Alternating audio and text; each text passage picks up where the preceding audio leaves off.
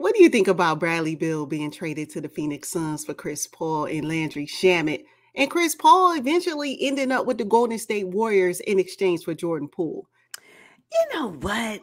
I just, I don't. Uh, I'm still pondering on what it really means. Like, okay, so let me just start off with the Phoenix Suns. Bradley Beal going to the Phoenix Suns in place of Chris Paul is supposed to do what exactly? Like, I just, yeah. maybe Bradley Beal is more athletic. He is a, he is a bit younger than Chris Paul. So if youth is is that, um, Bradley Beal does play at a faster speed. So if that's what they were looking for, okay, I'm okay with that. But you, but the Phoenix Suns did that trade and did not improve their roster, their bench, their depth. So what was mm-hmm. really the point in that? So that's that one. I, I, I hope it's successful. But Chris Paul going to the Warriors? Is that what you asked me? Yes. Why? Why? Well, okay, yeah. So Bradley Beal for me is the same player as Devin Booker, who is going to play point guard now that you've gotten rid of Chris Paul. That worries me as well. But the thing with Chris Paul going to the Warriors, yeah, they just got older. Like, what team wants to get older? It's all about the youth movement in the NBA. So that mm-hmm. was puzzling to me. And it tells me that the Warriors chose Draymond Green over Jordan Poole, even though Draymond opted out of his deal. So you can just punch your teammate and they still have your the team still has your back. And you send away the guy who was the victim in this case. To yeah. me, that's a problem in the Golden State Warriors. And probably because they their GM is different now. The GM is different now. Yeah, that is true. I read somewhere where uh, Steve Kerr said with them acquiring Chris Paul that they wanted to make they needed a different they needed something different Chris Paul different? like, okay, I'm, I'm, okay with you wanting something different. I have no problem with that, right? Your difference should be through the draft. Like your difference should be through free agency, young players. Chris Paul, exactly. Like, you mean to tell me I'm gonna be watching a slow Warriors team? Well, Chris Paul's not gonna start. I doubt it. I think he's going to be running the second squad because think about it. Golden State, they like to move, they like to cut. It's ball movement, player movement. Chris Paul is methodical, slow, likes to look around, pound the basketball 20 times. That's not Golden State Warriors basketball. I don't know how he's going to fit. That was puzzling. Yeah, that was, I, don't I like get it. I didn't care for it either. I was like, what? It just didn't. It, I have to see it to believe it because right now I just can't believe that that actually happened. what do you think about? the Cavs receiving trade offers for Jarrett Allen. Well, who did they? and they're and the Cavs are saying no, thank you. no, thank you. And I don't blame them. It depends on the offer though, because last season the Cavs did not did not go deep, even with Donovan Mitchell on the roster, mm-hmm. right? Evan Mobley and Jarrett Allen were supposed to be the big defensive presence in the paint. They ended up letting people waltz in when it came down to the playoffs. So I don't know. I would probably put up Jarrett Allen, but it depends on who I'm getting in return. Yeah. yeah. But it's funny because they're not putting up the Cavs are not putting up Jarrett Allen, but they're receiving requests for him. Yeah, well, I, I think what these teams are saying, we know we need big in the paint. We need some more presence. Now, what Jarrett Allen will do is block a basket. He will. He will, he will uh, you know, he can really put one back in. You know, he can do that. So I was like, oh, that's pretty interesting that people are seeking out bigs. Yeah, Nikola Jokic and the Denver Nuggets got teams looking differently at their roster. Oh, you think that's what happened? I think so. okay, all right. So speaking of a big, Porzingis to the Boston Celtics. I mean, Porzingis is a big dude, seven four, seven seven seven three, or something like that. Now, this is a guy who really doesn't play in the paint. He likes to play in the perimeter. But what do you think about that move? And what does it mean for Robert Williams III? That was Nothing, my first thought. Know, I, I thought that too, but then I said, okay, they're just gonna shift Robert Williams III to the four. He gonna still be on you're gonna still need that mm-hmm. strong presence in the paint. I don't care what nobody say. Robert Williams III is that dude. So he was a little injured. He was suffering through injuries in the 2023 season. I expect him to be a lot more healthy in 2024, and I still expect him to demand uh, floor time. Now I don't know what this looks like under Coach Mazzulla. I can't say that. The Porzingis thing, I guess it's okay. My problem, my problem is that they had to doing um and Marcus Smart was collateral damage. That's my problem.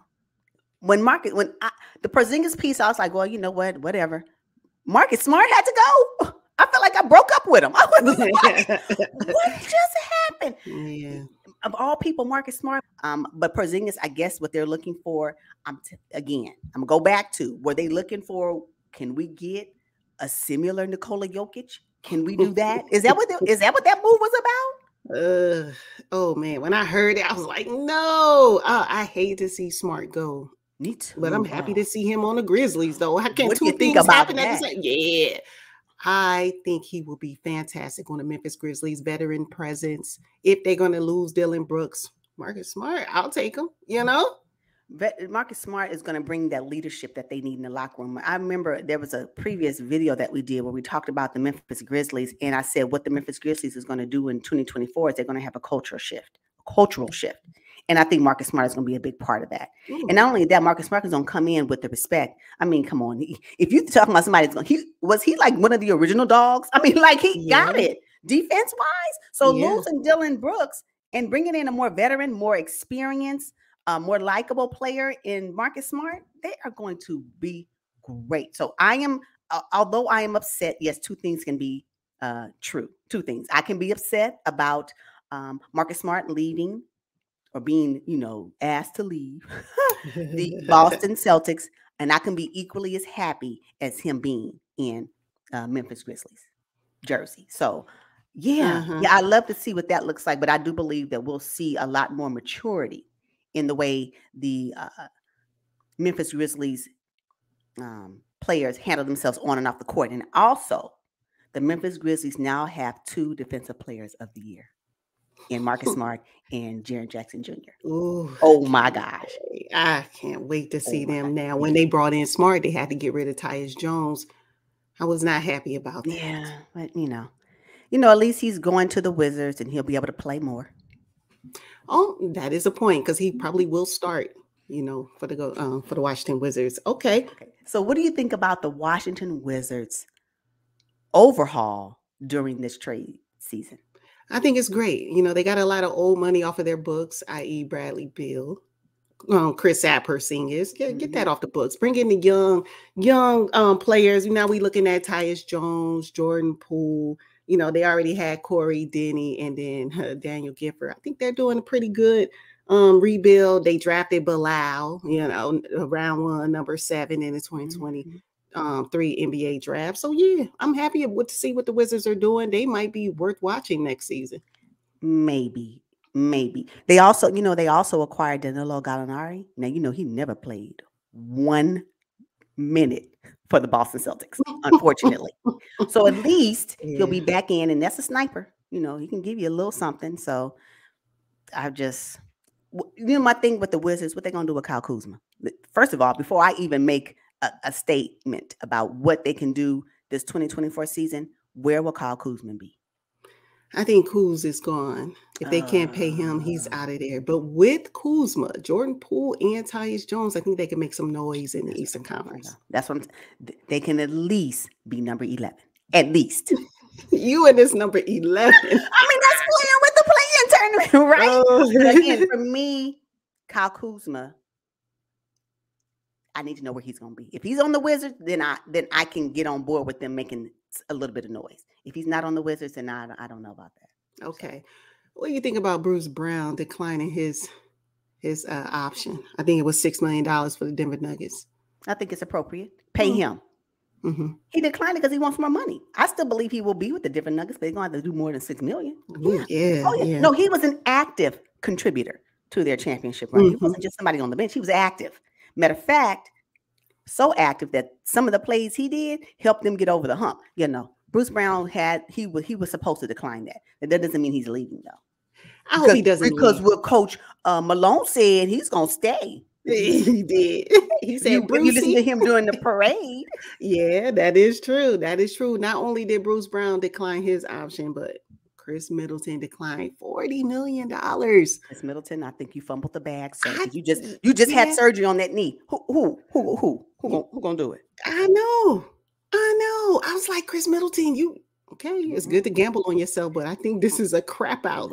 Uh, you, I think you kind of messed up on that one. He should have yeah. accepted that 40 million. Yeah, yeah. Don't shoot at yourself. Don't, don't shoot at yourself. I'm telling you. I don't know. Okay, now Draymond Green's another guy who um, declined $27 million at this stage of his career. What do you think about that? I don't care. Okay. I, you know how I feel. Draymond and just, mm. I just, to me, it baffles me that he believes he's going to get more than that, or maybe he he's looking for the longevity of the contract. I, you're not going to get more than twenty-seven million dollars, Draymond Green. He made with the Warriors. He made with the Warriors. I just don't know what the Warriors are doing this season. So I don't know. They, they, they worry me. Don't you mess around and waste Steph Curry's um, legacy. Don't you mess oh. his legacy up.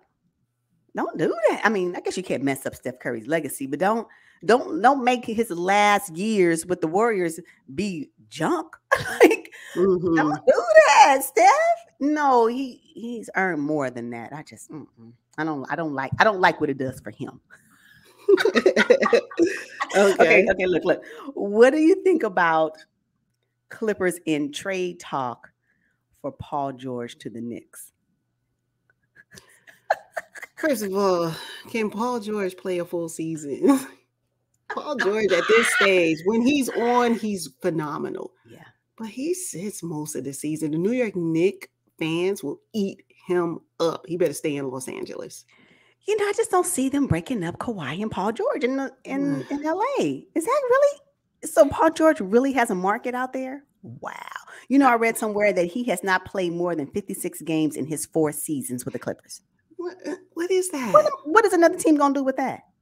Mm-mm. When you have to go up against some of these top players where their players are durable. Like, and we're talking about in the West, right? So you mean to tell me the Clippers are going to give up Paul George and they're going to fight their way through the Western Conference with with what? When you got to go through, first of all, the Nuggets, you're going to have to contend with the Sacramento Kings I can't say too much for the Warriors. The Suns, you want to kind of do something with the Suns at least, you know, during the regular season. Like what? And you going mm you, you uh-uh. I don't see it. I don't see it. So I thought that was kind of funny. It is funny. I ooh, I just if they do that, if Paul George is traded, Kawhi Leonard is probably going to retire because that puts too much on Kawhi Leonard, and he's not here for it. No, no. And then who they then they don't have any money. The Clippers don't have money. Who else are they going to acquire? Because they need to find the money to keep uh free agent Russell Westbrook, as far as I'm concerned. Mm-hmm. If you're gonna do with anything with any money, do that. They oh, can only offer him 3.8. Russ, uh, that's almost like veteran minimum. Like, no, mm-hmm. I, I, think yeah, where else can he go though?